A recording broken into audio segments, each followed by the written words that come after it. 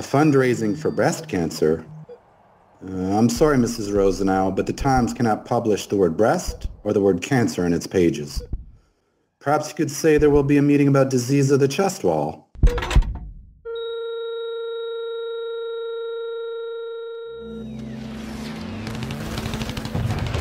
The story of the fight against cancer is a bloody military history, where the adversary is shapeless, hidden inside us, eternal and omnipresent.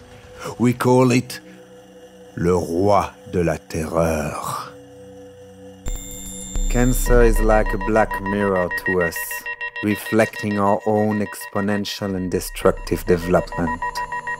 So, to cure it properly, we have to get out of this fantastical, metaphorical mindset and take this disease for what it is an unintended organic disorder.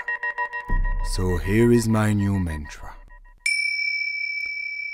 You who suffer from lung disease, I hear your pain. You shall not suffer more than anyone else.